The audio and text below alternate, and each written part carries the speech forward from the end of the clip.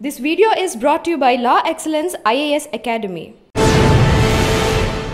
Welcome to credit diaries ఈ వారం మన గెస్ట్ సిక్కిం రాష్ట్రంలో అవుట్ స్టాండింగ్ ఐపీఎస్ ఆఫీసర్ పేరు సంపాదించిన పోలీస్ ఆఫీసర్ పేరు అత్తిలి సుధాకర్ గారు ఐపీఎస్ డీజీపీ సిక్ తెలుగు రాష్ట్రాల్లో పెరిగిన పుట్టి పెరిగిన ఆయన సిక్కింలో వెళ్ళి అక్కడ ఏఎస్పీ నుండి డీజీపీ స్థాయికి వచ్చారు. ఆయన అజాత శత్రువుగా పేరు సంపాదించారు. డిపార్ట్మెంట్లో అందరూ అతను ఆయన్ని is officer outstanding officer అనుకుంటే అక్కడున్న ప్రజలు పొలిటీషియన్స్ మాత్రం అజాత శత్రువు అంటారు సాధారణంగా అధికార పక్షంలో ఉన్న వాళ్ళు మాత్రమే మెచ్చుకునే కొంతమందికి కానీ సుధాకర్ గారికి సిక్కిం రాష్ట్రంలో ప్రతిపక్షాలు కూడా ఆయనే మంచి ఆఫీసర్ ఆయన డీజీపీగా ఉంటే రూల్ ఆఫ్ లా కరెక్ట్ అవుతుందంటూ ఆయన కితాబిస్తారు అటువంటి వ్యక్తిని ఈ వారం ప్రశ్న చేసిన ఆయన అడిగి సిక్కింలో జరుగుతున్న నేరాలు ఏ విధంగా ఉంటాయి? అక్కడ చొరబాటుదారుల సంఖ్య ఏ విధంగా ఉంటాయి? వాటిని అరికట్టడానికి ఆర్మీ సహకారం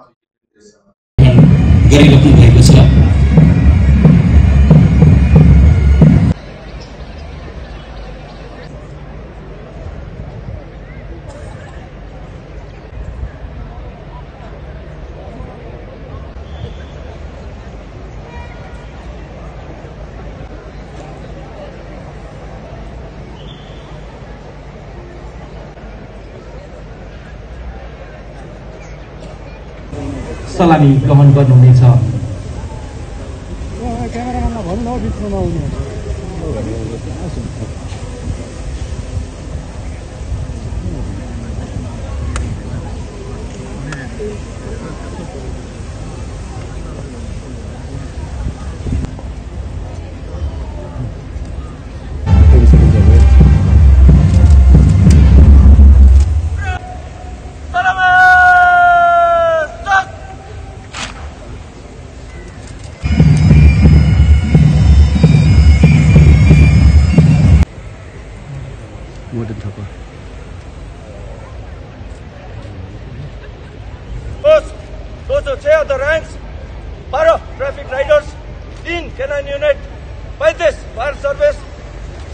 सिक्किम पुलिस बैंड परेड पर माननीय मुख्यमंत्री मुख्यमन्त्री परेड को निरीक्षण कर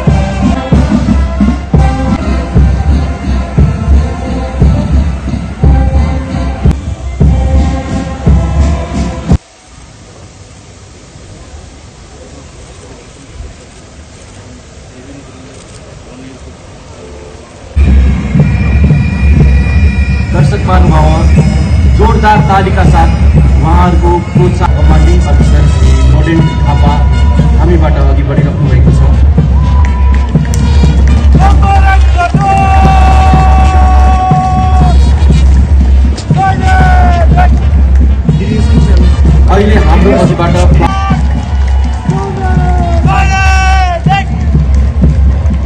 यसै गरी दोस्रो प्लाटुन सेकेन्ड आइआरबिएन पिपलले रहेको छ जसको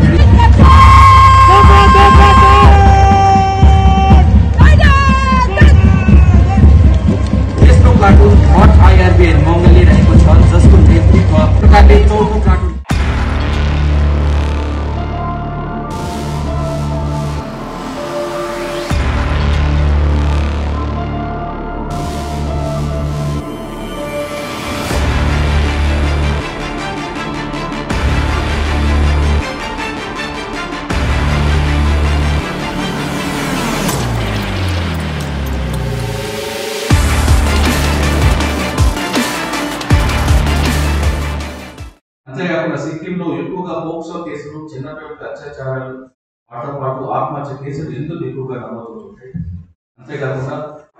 ఏ విధంగా లోపలికి వస్తుంటది జాలి నోట్లు ఏ విధంగా వెళ్తాయి తుపాకుల కల్చర్ ఏ విధంగా ఉంటుంది టోటల్గా సిక్కింలో జరుగుతున్న క్రైమ్ నేచర్ పై సుధాకర్ గారు తెలుసు సుధాకర్ గారు నమస్తే.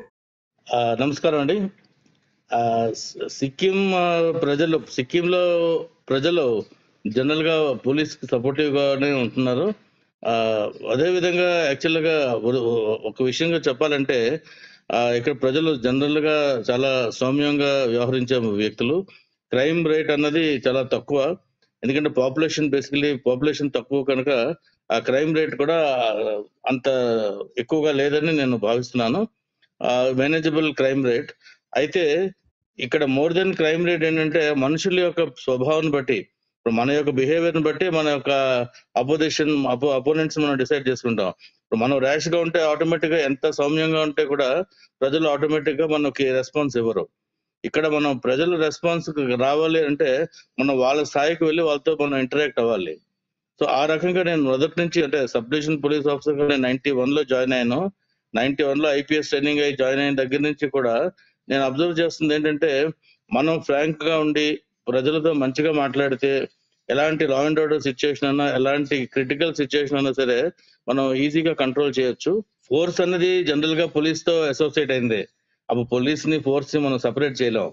అయితే ఫోర్స్ ఉన్నంత మాత్రాన మనం దాన్ని మిస్యూజ్ చేయకూడదు ఫస్ట్ పాయింట్ సెకండ్ ఏంటంటే ఫోర్స్ని అవసరమైనంత కన్నా ఎక్కువ యూజ్ చేయకూడదు.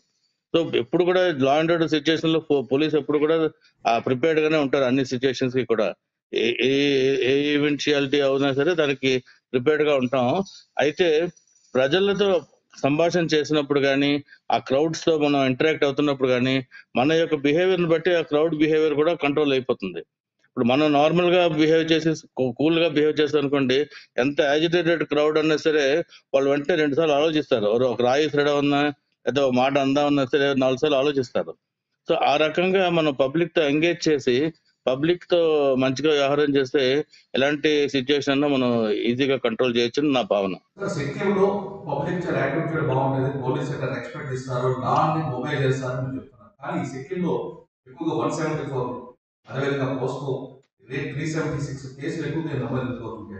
ఈ ప్రశ్న సమాధానం చెప్పే ముందు సుధాకర్ గారి నాన్నగారు కుటుంబ నేపథ్యం ఒకసారి చెప్పండి. మీ నాన్నగారు అంటే three seventy six cases three seventy six cases అన్నవి అది ఎప్పుడు ప్రిపేర్డ్గా ఉండే అవి అవే కేసెస్ కాదు అవి యాక్సిడెంటల్గా అవుతూ ఉంటాయి ఆ కేసెస్ వాటిని మేము ఇమీడియట్ గానే ప్రాంప్ట్గా ట్యాకిల్ చేస్తున్నాం.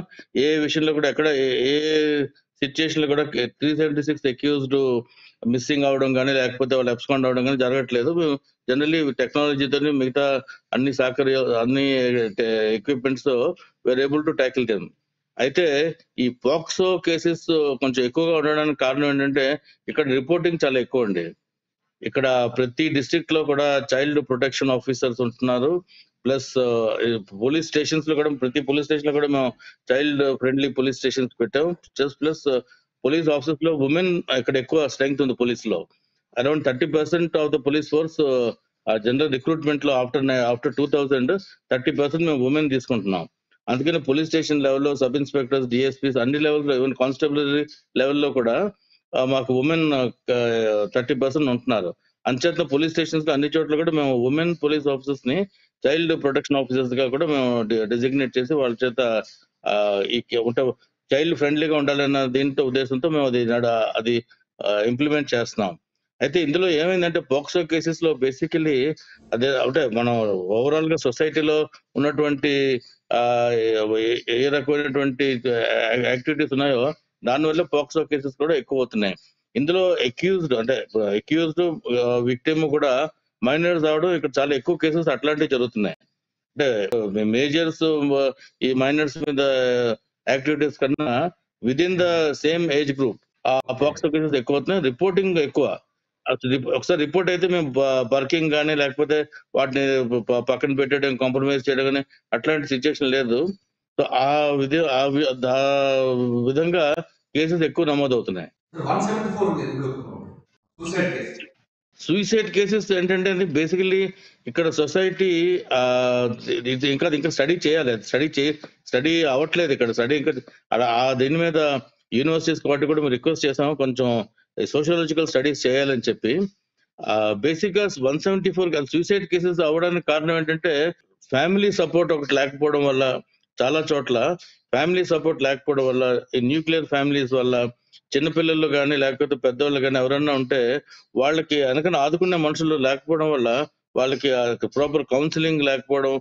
సో ఆ ఇష్యూస్ వల్ల ఒకటి వన్ సెవెంటీ ఫోర్ కేసెస్ ఎక్కువ అవుతున్నాయి ఇంకొకటి ఏంటంటే ఇప్పుడు దేర్ ఆర్ వేరియస్ ఆస్పెక్ట్స్ ఇందులో చిన్న పిల్లలు కూడా పదిహేను ఏళ్ళ పిల్లలు పదేళ్ళ పిల్లలు కూడా సూసైడ్ చేసుకుంటున్నారు. అది ఎందుకు చేసుకుంటున్నారు అంటే దానికి మేము నిజంగా వీఆర్ ఆల్సో పెర్ప్లెక్స్డ్ ఒక మొబైల్ మొబైల్ ఫోన్ తల్లి పిల్లోడి దగ్గర నుంచి మొబైల్ ఫోన్ లాక్కుని నువ్వేంటి రాత్రి పదిహేను సరే మొబైల్ చూస్తున్నావు అంటే వాడు పొద్దున్నకి సూసైడ్ చేసుకున్నాడు. So it is becoming this is the recent incident అది ఇలాంటి ఇన్సిడెంట్స్ చూస్తుంటే మాకు కూడా చాలా బాధ బాధ అనిపిస్తుంది first point second thing for no reason ఇదేంటి కారణాల వల్ల ఈ ఫలానా కారణం వల్ల ఇలా చేసాడు అన్నది కూడా కాదు. ప్లస్ ఏదో లవ్లో లవ్ పిల్ల లవ్ పడే వాళ్ళ పిల్ల ఇంట్లో వాళ్ళు ఒప్పుకోలేదంటే సూసైడ్ చేసి అలాంటిది ఏం కాదు. ఇవన్నీ నార్మల్ కేసెస్ కొంతమంది సిక్ పర్సన్స్ బాగలే ఒంట్లో బాగాలేదు అనుకోండి ఫస్ట్ థింగ్ వాళ్ళు డాక్టర్ దగ్గరికి వెళ్ళి అడ్మిషన్ ట్రీట్మెంట్ తీసుకుంటే బదులు దే కమిట్ సూసైడ్ ఇది ఇది ఒక సొసైటీ ఇక్కడ హిల్ సొసైటీస్లో మన సిక్కిం లో అబ్జర్వ్ చేసిందంటే హెల్త్ అనేది ఒక చాలా ఇంపార్టెంట్ ఆస్పెక్ట్ మనిషి మంచిగా లేకపోతే వాళ్ళు ఈ హిల్స్ కదా కొండల మీద తిరగడం కానీ పైకి ఆల్టిట్యూడ్కి వెళ్ళడం కానీ రావడం కానీ చాలా ఇబ్బంది అవుతూ ఉంటది. దీని వల్ల ఏమవుతుందంటే ఎవరైనా మనిషి ఒక ఆయనకి ఒంట్లో బాగాలేదు అనుకుంటే తను ఒక స్టిగ్మాగా ఫీల్ అవుతాడు. ఆ స్టిగ్మాగా ఫీల్ అవడానికి అవి ఎవరు బయట వాళ్ళ మనిషి అది అనేది ఏం కాదు. బట్ ఆ స్టిగ్మా వల్ల ఏమవుతుందంటే ఆటోమేటిక్గా దే ఆర్ ఫోర్స్డ్. అంటే take themselves the life into the down hands వాళ్ళు సూసైడ్ చేసుకుంటున్నారు. ఇట్లాంటి ఇన్సిడెంట్స్ కూడా చాలా మాకు కనిపిస్తున్నాయి. అంటే ఇవన్నీ డాక్యుమెంట్ చేసి యూనివర్సిటీస్కి అప్పచెప్పాం so studies are being conducted మీ నాన్నగారు మీ కుటుంబ నేపథ్యం అచ్చా ఓకే ఓకే ఓకే. మా నాన్నగారు మా నాన్నగారు అంటే యాక్చువల్గా నేను నేను కూడా ఒక థియేటర్ గ్రూప్లో మా నాన్నగారితో వాళ్ళతో పాటు థియేటర్లో నేను కూడా పార్టిసిపేట్ చేసేవాడిని యాక్టివ్ గాను ఆల్మోస్ట్ ఒక సెవెన్ ఎయిట్ ఇయర్స్ నా కాలేజ్ అంటే డిగ్రీ చదువుతున్నప్పటి నుంచి పీజీ కంప్లీట్ చేసేదాకా నేను కంటిన్యూస్గా యాక్టివిటీ థియేటర్ యాక్టివిటీస్లో ఉండేవాడిని. నా నేటివ్ విశాఖపట్నం అండి విశాఖపట్నం. విశాఖపట్నం మా ఫాదర్ మా ఫాదర్ ఆంధ్ర యూనివర్సిటీలో థియేటర్ ఆర్ట్స్ అన్న డిపార్ట్మెంట్కి హెడ్ ఆఫ్ డిపార్ట్మెంట్గా ఉండేవారు ఆయన అత్తిలి కృష్ణారావు ఆయన పేరు. మంచి రచయిత. ఆయన ఇప్పుడు కూడా చాలా నాటకాలు వేస్తూ ఉంటారు మన నంది అవార్డ్స్కి వాటికి కూడా వెళ్తూ ఉంటాయి నాటకాలు. సో అవన్నీ social actually social place plus ఈ ప్రయోగాలు చేశారు చాలా వరకు థియేటర్లో ఒక అందులో ఒక ఇంపార్టెంట్ ప్లే జో ఏమండి నేను నేను నేను ఎంఎస్సి చేశాను ఆంధ్ర యూనివర్సిటీలో. ఎంఎస్సి చేసిన తర్వాత ఆ రీసెర్చ్ ఫీల్డ్ అది వెళ్ళే బదులు బెటర్ యూనివర్సిటీలోనే ఎంబీఏ చేశాను ఆంధ్ర యూనివర్సిటీలో. ఆ ఎంబీఏ చదువుతుండగా ఉన్నప్పుడు నేను బెంగళూరు ప్రాజెక్ట్ రిపోర్ట్కి కండ ప్రాజెక్ట్ చేయడం కోసం బెంగళూరు వెళ్ళినప్పుడు అక్కడ ఒక రకమైనటువంటి ఇన్స్పిరేషన్ వచ్చింది. ఆ తర్వాత జనరల్గా చదివే అలవాటు ఉండకనుక ఈ- ఈ సోషల్ యాక్టివ్ ఇష్యూస్ గురించి వాటి గురించి ఇంట్లో చిన్నప్పటి నుంచి విపరీతమైన డిస్కషన్స్ జరుగుతూ ఉండేవి. అండ్ మా ఫాదర్ అన్ని సోషల్ ఇష్యూస్ మీద కూడా ఆయన ప్లేస్ రాశారు. ఈ కరప్షన్ గురించి అయితేనేంటి జోగు జోగిని సమస్య మనకు ఆంధ్రాలో చాలా విపరీతంగా ఉండేది. తెలంగాణ ఏరియాలో ఆ జోగిని సమస్య గురించి కూడా మా ఫాదర్ ఆల్మోస్ట్ త్రీ మంత్స్ అక్కడ ఉండి మహబూబ్ నగర్లో ఆ ఏరి- ఏరియాలని తిరిగి రాశారు. అతను ఆయన మా ఫాదర్ ఆ జోగి మహబూబ్ నగర్ తిరుగుతున్నప్పుడు నేను కూడా ఆయనతో పాటు వెళ్ళి అక్కడ ఉండి దగ్గర ఆయనకి హెల్ప్ చేశాను. సో అవన్నీ సోషల్ ఇష్యూస్ మీద మేము చాలా ఎక్కువ ఇచ్చేసారు సో దాంతో ఏంటంటే ఈ కార్పొరేట్ సెక్టర్లో కాట్లోకి వెళ్ళే బదులు మనం ఒక ఏంటిది? సొసైటీకి మనం ఏదైనా చేద్దాం సొసైటీలో మన ఇంత ఇంతవరకు ఇంత వచ్చాం కనుక ఏదో ఒక రకంగా మనం సొసైటీకి హెల్ప్ చేద్దాం అన్న ఉద్దేశంతో నేను ఈ యూపీఎస్సీ రాయడం మొదలు పెట్టాను రాయడం మొదలు పెట్టిన తర్వాత ఫస్ట్ అటెంప్ట్ రాలేదు. సెకండ్ అటెంప్ట్లో ఈ ఐపీఎస్ సెలక్షన్కి వచ్చింది. వచ్చిన తర్వాత మా ఫాదర్ వెంటనే ఏదో ఒక సర్వీస్ అంటే ఐపీఎస్ వస్తుందన్న గ్యారంటీ లేదు. But then IAS IPS any service is good enough అని చెప్పి దాంట్లోకి వచ్చిన తర్వాత ఒకటే ఒకటి చెప్పింది ఏంటంటే be a good human being మా ఫాదర్ అంతకన్నా నేనేం చెప్పలేను నీకు. Be a good human being everything follows అనేవారు. సో ఆ రకంగానే అది కంటిన్యూ అయిపోయింది. విశాఖపట్నం పుట్టారు. విశాఖపట్నం ప్రాంతం అలవాటు పడి జనం మధ్యలో ఉండే మీరు సడన్గా మీరు సిక్కిం రాష్ట్రం వెళ్ళేసరికి అక్కడ నేచర్ అక్కడ కొన్ని కొన్ని ప్రాంతాల్లో అయితే నార్త్ సిక్కిం లాంటి ఏరియాలో ఉదయం నుండి సాయంత్రం పది గంటల నుంచి నాలుగు గంటలకి అన్ని ఉంటాయి. ఐదు గంటల తర్వాత కంప్లీట్ నిర్మానుష్యంగా ఉన్న ప్రాంతం వెళ్ళారు ఏమనిపించింది? ఎందుకు వచ్చారా బాబు జనం నుంచి బయటకు అనిపించిందా? స్టార్టింగ్లో చాలా ఇబ్బంది అయిందండి. ఫస్ట్ యాక్చువల్గా విశాఖపట్నం ఫస్ట్ వదిలింది ఆ, ఈ యూపీ మసూరిలో ట్రైనింగ్ కోసం బయలుదేరాను. అక్కడ మసూరి ట్రైనింగ్ అయిన తర్వాత ఇమీడియట్గా నేషనల్ పోలీస్ అకాడమీ హైదరాబాద్లో ఉంది కనుక అక్కడికి వచ్చాం. సో హైదరాబాద్ అయితే మన ఆంధ్రలోనే ఉన్నాం కనుక పెద్ద ఇబ్బంది అనిపించలేదు. But once training is completed Sikkim enter అయినప్పుడు అప్పుడు అనిపించింది. ఎందుకంటే మనకి జనరల్గా కొండలతో అలవాటు లేదు. ప్లెయిన్స్లో ఉండే మనుషులు సముద్రం తీరాన్ని ఉండే మనుషులకి ఈ కొండలు అనేసరికి విపరీతమైనటువంటి ఒక రకమైనటువంటి షాక్ అనిపించింది ఇనిషియల్గా. తర్వాత అయితే అక్కడ ఏంటంటే అక్కడ వెళ్ళిన తర్వాత ప్రశాంతమైనటువంటి అట్మాస్ఫియర్ ప్రశాంతమైనటువంటి వెదర్ అన్ని రకాలుగా కూడా చాలా ఇదిగా ఉంటే కొన్నాళ్ళు వెదర్ని ఎంజాయ్ చేయొచ్చు చూడొచ్చు యాజ్ ఎ టూరిస్ట్ కానీ అక్కడే ఉండి పని చేయాలంటే మాత్రం చాలా కష్టం అనిపించేది ఆ రోజుల్లో ఫోన్లు తగిలేవి కాదు. ఆ తర్వాత ఉత్తరాలు రాస్తే నెల రోజులకు వచ్చేది విశాఖపట్నం. సో అది చాలా ఇబ్బందిగా అనిపించేది. తర్వాత నెమ్మది నెమ్మదిగా స్లోగా అక్కడ పబ్లిక్తో మన స్టాఫ్తో వాళ్ళతో లోకల్ లాంగ్వేజ్ ఒకటి నేర్చుకోవడం చాలా ఇంపార్టెంట్. సో వెంటనే ఇమీడియట్గా local language with in two three మంత్స్లో నేర్చుకోగలిగాం. నేర్చుకోగలడంతో ఏమైందంటే మోర్ అండ్ మోర్ పీపుల్తో ఇంటరాక్ట్ అవడంతో ఆ ఆ రకమైనటువంటి ఎలియన్ ఫీలింగ్ లేకుండా అయిపోయింది. అక్కడికి సొసైటీలో కలిసిపోయాం కనుక రకరకాల యాక్టివిటీస్ అక్కడ చేస్తుంటే వాటిలో పార్టిసిపేట్ చేస్తూ మనకు కూడా ఇది కూడా మన పార్టీ మన దేశమే కదా అని అనిపించేది ఎప్పుడు కూడా విశాఖపట్నంలో మీకు ముద్దపప్పు ఆవకాయ కూర అలవాటు ఉన్న మీకు? సిక్కింలో ఇవన్నీ కూడా ఉండవు బీఫ్ నూడిల్స్ చికెన్ కదా ఆ ఫుడ్ ఎలాగా అలవాటు అవును కానీ ఫుడ్ ఫుడ్ హ్యాబిట్స్ ఫుడ్ కంప్లీట్గా డిఫరెంట్ మనకు అంటే ఒకటే కామన్ అంటే కామన్ థింగ్ ఏంటంటే రైస్ తింటారు అక్కడ అందరూ కూడా. సో రైస్ ఇస్ కామన్ బాకీ మిగతా ఈ మన ముద్దపప్పు కానీ సాంబార్ కానీ ఇవన్నీ అంటే ఇవన్నీ మనం చేసుకోవాల్సినవి. But over period of time అలవాటు అయిపోయిందండి అంత బాగానే అండ్ లోకల్ ఫుడ్ కూడా చాలా healthy food and organic food mace basically organic food అంతా ఎక్కడికి అక్కడ వీల్ ఫీల్డ్స్లో పండు పండుతున్న దొరుకుతుంటే మన ఇంట్లో కూడా చాలా పండించుకోవచ్చు. సో ఆ రకంగా ఫుడ్ అనేది పెద్ద ఇబ్బంది అవ్వలేదు అడ్జస్ట్ అయిపోయాం. ఫస్ట్ నేను first first sub divisional police ఆఫీసర్గా నామ్చి అని ఒక ప్లేస్లో నాకు ఫస్ట్ పోస్టింగ్ వచ్చిందండి నైన్టీ వన్లో నైన్టీ వన్ అక్టోబర్లో. సో అక్కడ టూ ఇయర్స్ నేను అంటే ఎస్డిపిఓగా కూడా ఉన్నాను అడిషనల్ ఎస్పీగా అక్కడే ఉన్నాను. తర్వాత ప్రమోషన్ మీద నన్ను వెస్ట్ డిస్ట్రిక్ట్లో ఎస్పీగా పంపించారు. సో వెస్ట్ డిస్టిక్లో లో త్రీ అండ్ హాఫ్ ఇయర్స్ ఉన్నానండి అక్కడ. సో అక్కడ అది సిక్కిం కూడా వెస్ట్ డిస్ట్రిక్ట్ అది. అది ఇంటర్నేషనల్ బార్డర్ అంటే నేపాల్తో బార్డర్ ఉండేది మాకు. సో అది అదొక ఛాలెంజింగ్ ప్లేస్ కొంచెం రిమోట్ ఏరియా అనేది మంచి ఛాలెంజింగ్ ప్లేస్ ఇది. ఒక పక్క డార్జిలింగ్ బార్డర్ ఒక పక్క Nepal border. Sir so and Kanchenjunga అది కాంచన్జంగా గేట్ వే అని చెప్పారు వెస్ట్ సిక్కిం.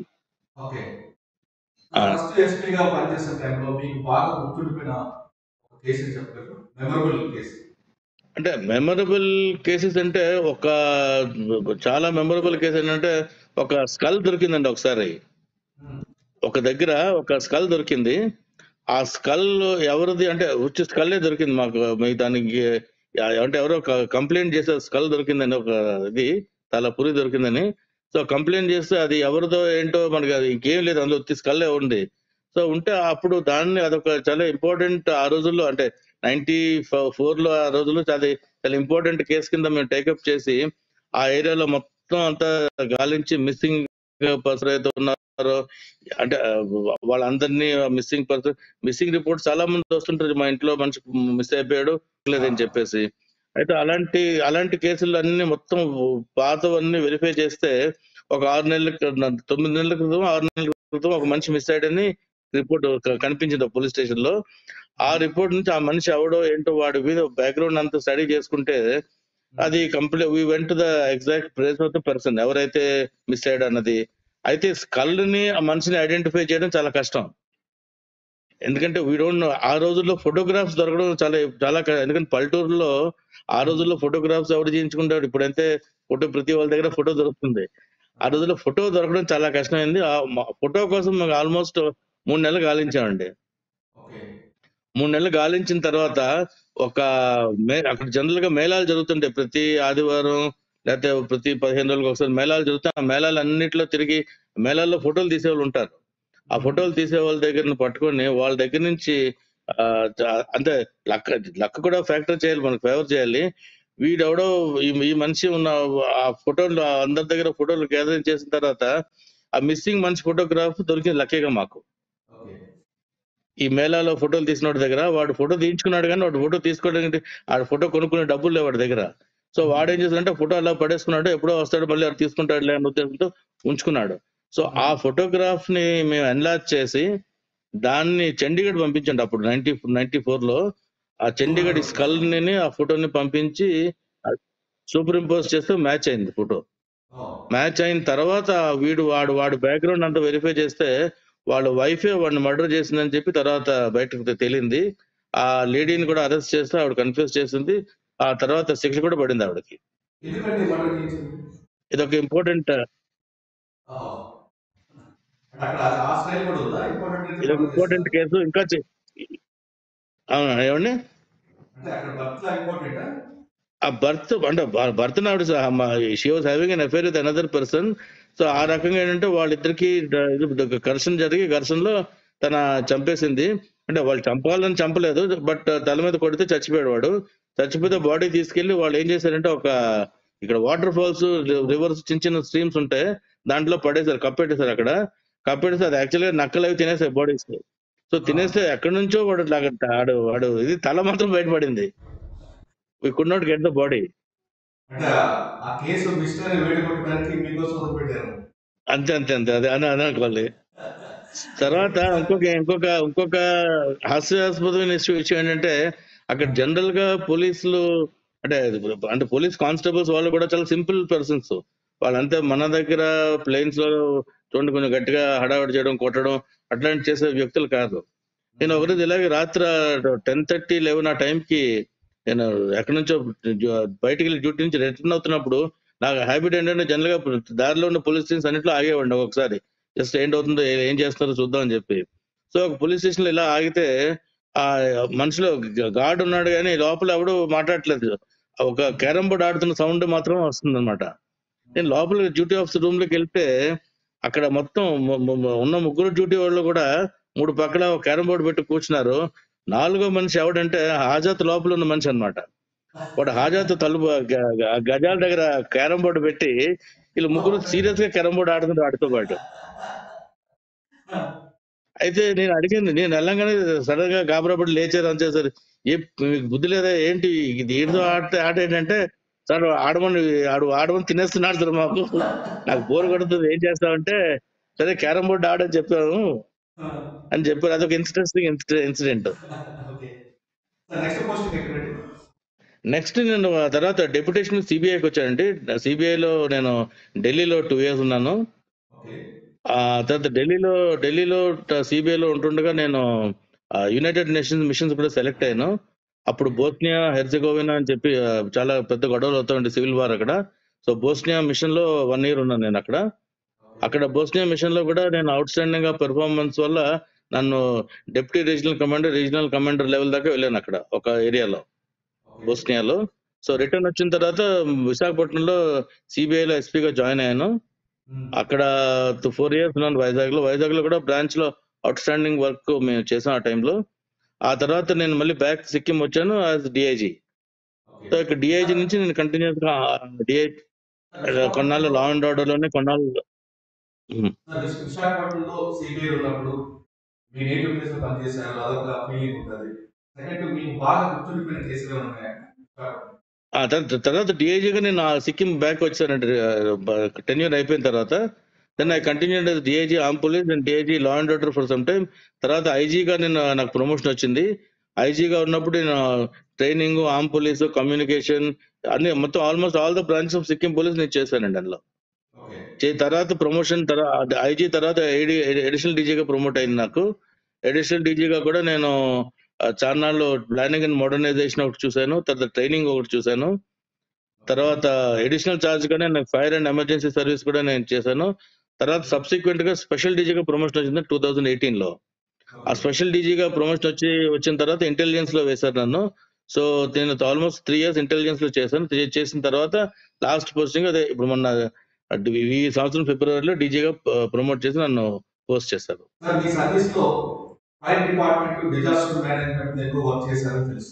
చేశాను. Fire and fire and emergency service disaster మేనేజ్మెంట్లో కూడా చేశాను. So fire and emergency service and disaster management చాలా ఇంపార్టెంట్ బ్రాంచెస్ అండి అవి. యాక్చువల్గా మన దగ్గర జనరల్గా నెగ్లెక్ట్ చేస్తారు. తర్వాత బట్ నెగ్లెక్ట్ చేసే బ్రాంచెస్ కాదు. ఎందుకంటే టూ థౌజండ్ లెవెన్లో ఎర్త్ కేక్ వచ్చినప్పుడు నేను ఉన్నాను ఇక్కడ. ఆ, చాలా మేజర్ ఎర్త్ కేక్ వచ్చింది. సో నేను అప్పుడు ఆ రోజుల్లో నేను కమ్యూనికేషన్ చూస్తున్నా సరే నన్ను మా డీజీపీ గారు వచ్చి అప్పుడు ఆ ఎపీ సెంటర్ ఎక్కడైతే జరిగిందో అక్కడ పంపించారు చేయడానికి. దగ్గర దగ్గర అక్కడ ఆ ఏరియాలో సిక్స్టీ సెవెంటీ మెంబర్స్ చనిపోయారు ఆ రోజు ఆ రోజుల్లో. అయితే బేసిక్ థింగ్స్ ఏంటంటే ఈ ఫైర్ అండ్ ఎమర్జెన్సీ అంటే ఎమర్జెన్సీ సర్వీస్ డిజాస్టర్ మేనేజ్మెంట్లో ఫస్ట్ రెస్పాండర్స్ అండి. ఎవరైతే ఫస్ట్ రెస్పాండ్ అయ్యి ఇమీడియట్గా స్పాట్కి చేరుతారో వాళ్ళే లైఫ్ సేవ్ చేయగలరు. ఆ తర్వాత వెళ్ళే వాళ్ళందరూ కూడా ఆ బాడీస్ తీసుకురావడం అయితే ఈ సామాన్లు పడిపోయినాయి తీసుకురావడం తప్పితే వాళ్ళు లైఫ్ సేవ్ చేయలేరు. సో అందుకని లైఫ్ సేవింగ్ కోసం అన్నది మనం ఫస్ట్ ప్రయారిటీ పెట్టుకోవాలి. ఎక్కువ డిజాస్టర్ మేనేజ్మెంట్ మీద ఎక్కువ వర్క్ ఉంటుంది ఎందుకంటే టూరిస్టులు ఎక్కువ వస్తుంటారు. ఒక్కోసారి స్నో ఎక్కువగా వచ్చినా రైన్ సీజన్ వచ్చినా దాదాపు ఫార్టీ ఎయిట్ అవర్స్ వాళ్ళు స్టక్ అయిపోతుంటారు నీట్ సేవ్ చేయడానికి మీరు చేస్తున్న కోర్స్ ఏమిటి అంటే ఇప్పుడు ప్రస్తుతం అంటే ఒక ఒక ఒక టైంలో మన దగ్గర టెక్నాలజీ లేకపోవడం వల్ల చాలా ఇబ్బంది అయ్యేదండి మనుషుల్ని రెస్క్యూ చేయడం కోసం కానీ సేవ్ చేయడం కోసం కానీ ఈ రోజుల్లో మేము డ్రోన్స్ యూజ్ చేస్తున్నాం. ఎక్కడైనా ఎనీ రోడ్ బ్లాక్ కానీ ల్యాండ్ స్లైడ్ కానీ ఎక్కడ జరిగినా సరే ఇమీడియట్గా మా పోలీస్ డిపార్ట్మెంట్ నుంచి మా పోలీస్ డ్రోన్స్ ఉన్నాయి. డ్రోన్ ఆపరేటర్స్ని డ్రోన్స్ని పంపిస్తే ఇమీడియట్గా విదిన్ మినిట్స్ వాళ్ళు మనకి అసెస్ చేసి పంపిస్తారు ఎంత డ్యామేజ్ జరిగింది అన్నది సో ఇమీడియట్గా అకార్డింగ్లీ మేము స్ట్రాటజిక్ పొజిషన్స్లో ఎస్పెషల్లీ మాకు సిన్స్ నెట్వర్క్ ల్యాండ్ టెరెన్ మాకు తెలుసు కనుక ఆ ఇంపార్టెంట్ ప్లేసెస్లో మేము రిజర్వ్ ఫోర్స్ పెట్టాం. సో ఇమీడియట్గా ఎక్కడైనా ఇలాంటి ఇన్సిడెంట్ జరిగిందంటే within maximum one to two అవర్స్లో మేము వాళ్ళని మనుషుల్ని రెస్క్యూ చేయగలుగుతున్నాం. అట్ ద సేమ్ టైం వాళ్ళని ట్రాన్స్షిప్ చేసి సేఫర్ ప్లేసెస్ పంపిస్తున్నాం. ఈ మధ్య ఇది వరకు ఒక టెన్ ఇయర్స్ బ్యాక్ అట్లా ఉండేదేమో కానీ ఇప్పుడు మాత్రం లాస్ట్ త్రీ ఫోర్ ఇయర్స్ నుంచి we are very efficient in these aspects sir మీకు ఒకవైపు చైనా బార్డర్ ఉంది. రీసెంట్గా డోక్లా ఇష్యూ జరిగినప్పుడు ఆర్మీతో ఏ విధంగా మీరు కోఆర్డినేట్ చేసుకుంటారు? వాళ్ళకి ఏ విధంగా సపోర్ట్ చేస్తారు? ఆర్మీకి బేసిక్గా ఆర్మీ అనేది వాళ్ళు వాళ్ళు హ్యావ్ వాళ్ళ డి- వాళ్ళ డై వాళ్ళ హైరార్కీ డిఫరెంట్ అయితే సివిల్ అడ్మినిస్ట్రేషన్తో కోఆపరేట్ చేయాల్సిన దగ్గర ఎక్కడంటే basically with regard to traffic management వాళ్ళ ఎప్పుడైతే ఏ మూమెంట్ జరుగుతున్నా సరే ట్రాఫిక్తో కోఆర్డినేట్ చేయడం. ప్లస్ లోకల్ ఇంటెలిజెన్స్ అనేది మా దగ్గర ఉంటుంది ఇన్ఫర్మేషన్ ఎక్కువ. సో వాళ్ళ దగ్గర లోకల్ ఇంటెలిజెన్స్ ఉంది ఎందుకంటే వాళ్ళందరూ బయట నుంచి వస్తారు కనుక వాళ్ళకి లోకల్ పబ్లిక్తో అంత కాంటాక్ట్ ఉండదు. సో మా రెస్పాన్సిబిలిటీ ఏంటంటే వాళ్ళు ఎవరు ఏ ఆఫీసర్ వచ్చినా సరే జనరల్ ఆఫీసర్ కమాండింగ్ ఇక్కడికి. వాళ్ళు ఫస్ట్ రాగానే మనల్ని కలుస్తారు ఆఫీస్ జనరల్గా మేము కలుస్తాం. సో యాజ్ రిజల్ట్ ఏమవుతుందంటే లోకల్ పాపులేషన్కి ఆర్మీకి మధ్యలో పోలీస్ ఒక ఇంటర్ఫేస్గా పనిచేస్తుంది అనమాట సో దాని దానివల్ల ఆర్మీస్తో ninety nine percent of the time where in good terms అట్లా ఏ రకమైన ప్రాబ్లమ్స్ లేవు. And in in terms of disasters జరిగిందైతే hundred percent మేము వాళ్ళతోనే ఉంటున్నాం వాళ్ళు మనతోనే ఉంటున్నారు. It's very healthy relationship fake currency fake currency పెద్ద ఇష్యూ కాదండి ఇక్కడ అది. ఏదో నార్మల్గా ఒకటి రెండు నోట్స్ వస్తూ ఉంటాయి బట్ ఎందుకంటే ఇక్కడ ఆర్బీఐ కూడా మాకు బ్రాంచ్ ఉంది గ్యాంగ్టాక్లో సో రీజనల్ ఆఫీస్ ఉంది ఆర్బీఐ రీజనల్ ఆఫీస్ కూడా. సో జనరల్లీ వెరీ ఫ్యూ అండి. ఇంత అది మనం అనుకున్నంత ఎక్కువ ఫేక్ కరెన్సీ మాకు కనిపించలేదు అక్కడ.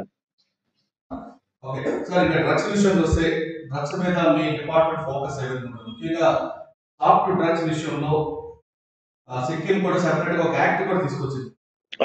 సిక్కిం యాంటీ డ్రగ్స్ యాక్ట్ అని మాది ఒకటి స్పెషల్ యాక్ట్ ఒకటి లాంచ్ చేశారు సిక్కిం లో ఆల్మోస్ట్ ఇక్కడ టెన్ ఇయర్స్ అవుతుంది. ఆ సిక్కిం యాంటీ డ్రగ్స్ యాక్చువల్గా సిక్కిం లో ఇష్యూ ఏంటంటే ఈ అంటే మామూలుగా ఈ నార్కోటిక్స్ సబ్స్టెన్సెస్ కన్నా ఈ షెడ్యూల్డ్ డ్రగ్స్ అబ్యూజ్ ఎక్కువైంది. షెడ్యూల్డ్ డ్రగ్స్ అబ్యూజ్ అంటే ఇప్పుడు ఇప్పుడు- ఫెనార్గన్ కానీ లేదా కాఫ్ సిరప్ అబ్యూజ్ ఇంకోటి వచ్చి spasmo proxyvon and tablets pain killer tablets N ten అనేది ఒక టాబ్లెట్స్ ఇవన్నీ కూడా రెగ్యులర్లీ ప్రిస్క్రిప్షన్ డ్రగ్స్ అది ఏ మెడికల్ షాప్కి వెళ్ళినా ప్రిస్క్రిప్షన్ చూపిస్తే మీకు డ్రగ్స్ ఇస్తారు. సో వాటి misuse some it is caught up in Sikkim so దానికోసమే సిక్కిం యాంటీ డ్రగ్స్ యాక్ట్ అని పెట్టారు. దాంట్లో ప్రొవిజన్స్ స్ట్రింజెంట్గా ఉన్నాయి. సో మేము రెగ్యులర్గా వాటిలో అంటే అంటే వాటి స్టాప్ చేయడం అన్నది ఇది ఇస్ ఇంపాసిబుల్ థింగ్ బికాస్ ఎవరు ఎప్పుడు వస్తుంటారు? ఎందుకంటే Sikkim is landlock state వచ్చిన వాళ్ళందరూ కూడా బయట నుంచి వచ్చేవాళ్ళే. సో మేము చెక్ పోస్టుల దగ్గర ఇంటెన్సివ్ చెకింగ్ చేసి ప్రతి వెహికల్ నుంచి ఆటోమో almost every day they catch every day catch and మేము చేస్తున్నాం. ఇప్పుడు ఆఫ్ లేట్ ఏమైందంటే కొంచెం బ్రౌన్ షుగర్ కన్సంప్షన్ కూడా నెమ్మదిగా వచ్చింది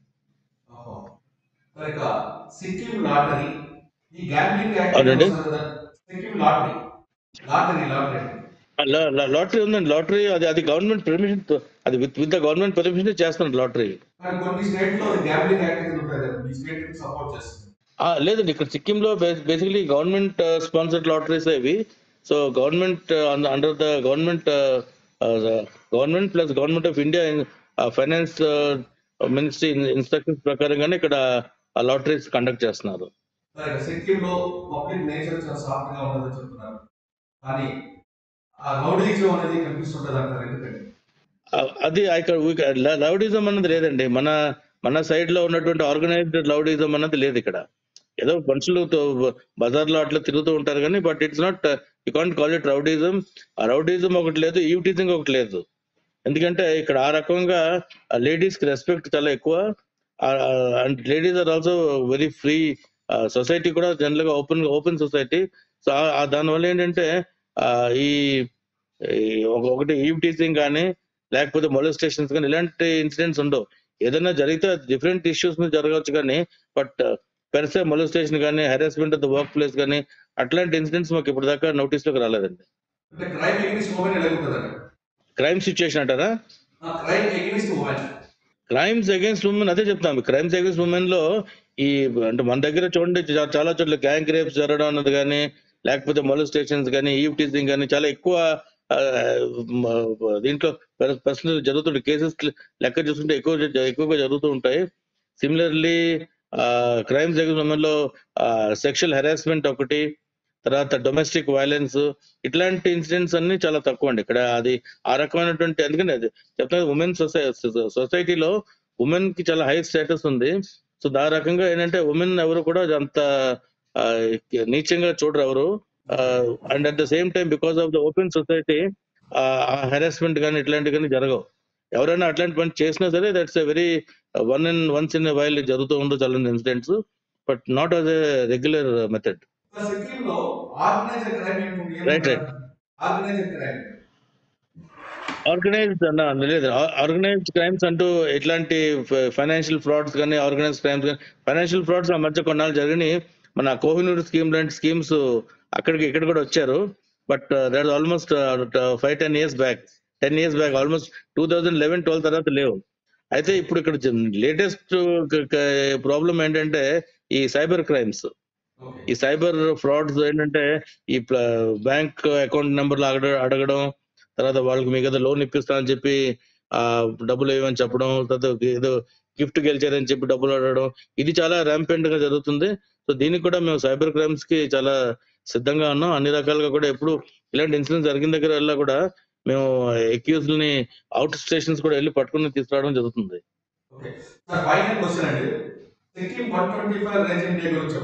అవునండి. సిక్స్టీ సిక్కిం పోలీస్ ఎస్టాబ్లిష్ అయింది ఎయిటీన్ నైన్టీ సెవెన్లో అండి. November twenty seventh eighteen ninety సెవెన్లో సిక్కిం పోలీస్ అంటే చౌకియాల్ గారు ఉన్న రాజా రాజా పాలనలో ఉన్నప్పుడు అది Indo China Indo Tibet trade. ఆ రోజుల్లో ఇండో అన్నా కూడా లేదు సిక్కిం టిబెట్ ట్రేడ్ జరుగుతూ ఉండేది. ఆ ట్రేడ్ జరుగుతున్నప్పుడు ట్రేడ్ రూట్ని గార్డ్ చేయడం కోసం అని చెప్పి పోలీస్ స్టార్ట్ చేశారు ఇనిషియల్గా ఆ తర్వాత అదే ఫోర్స్ని నెమ్మదిగా ఈ బ్యాంక్ సెక్యూరిటీకి దానికి అంటే చాలా తక్కువ దీంట్లో స్కేల్లో స్టార్ట్ చేశారు.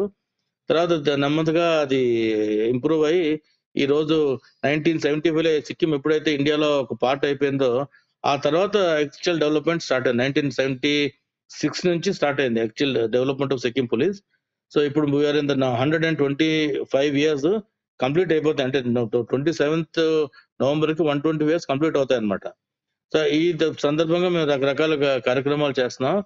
సో అదే విధ- దాని ఆ ఈ వన్ ట్వంటీ ఫిఫ్త్ యానివర్సరీ సెలబ్రేషన్స్లోనే మేము ఇప్పుడు ఫుట్బాల్ టోర్నమెంట్ ఒకటి కండక్ట్ చేస్తే వాళ్ళ సెమీఫైనల్ మ్యాచ్ ఏదో ఉంది రండి అని చెప్పి పిలుస్తున్నారు. So that is one thing అండి it's one twenty five years అంటే it's very major landmark so over a period of time from a small force it is now coming to force which is more than seven thousand strength అండి ఇప్పుడు Sikkim police we got four arm police battalions మా బెటాలియన్స్లో గొప్పతనం ఏంటంటే they are suppose to be very good అంటే very well train battalions అందుకనే ప్రతిసారి కూడా ఎక్కడ ఎలక్షన్ డ్యూటీస్ ఉన్నా సరే సిక్కిం పోలీస్ బెటాలియన్ కంపల్సరీగా పిలుస్తారు. ఇప్పుడు కూడా మా బెటాలియన్ ఒకటి గుజరాత్లో ఉంది. గుజరాత్లో డ్యూటీస్ ఆల్రెడీ మేము పంపించాం ఒక బెటాలియన్ని తర్వాత ఒక బెటాలియన్ ఢిల్లీలో డ్యూటీస్ చేస్తుంది ఢిల్లీ పోలీస్ తోని so we're and Sikkim police suppose to అంటే మాకు దగ్గర ఉన్నటువంటి with in the limited resources the force is very good physically చాలా స్ట్రాంగ్ మనుషులందరూ కూడా అండ్ వెల్ ట్రైన్డ్ అండి మీకు మీ సొంత ఊరు సొంత రాష్ట్రం ఆంధ్రప్రదేశ్ మీద ఉన్న మక్కువ ఉంటుందా? లేదు పనిచేసిన శక్తి మీద ఎక్కువ ఉంటుంది?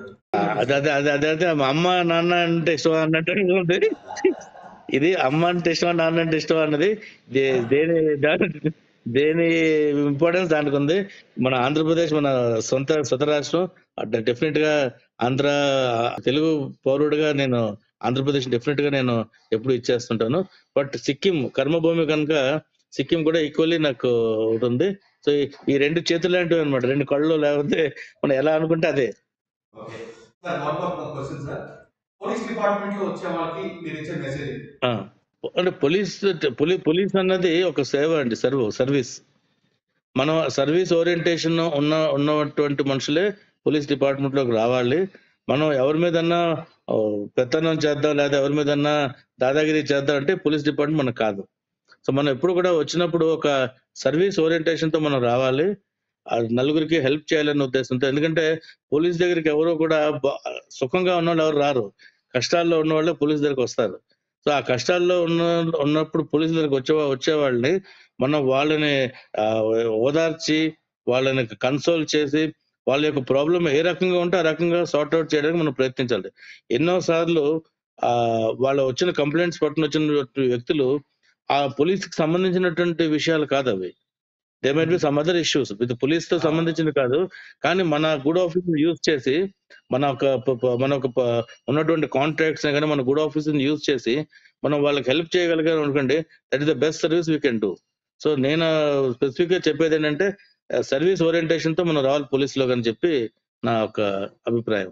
పోలీస్ డిపార్ట్మెంట్ రండి కానీ వచ్చిన వాళ్ళు మాత్రం కమర్షియల్గా కాకుండా సర్వీస్ మోటోతో ఉన్న వాళ్ళు మాత్రమే పోలీస్ డిపార్ట్మెంట్ రండి అంటారు ఆయన పుట్టింది ఆంధ్రప్రదేశ్ అయినా సిక్కిం లో అతను తెచ్చుకున్నారు.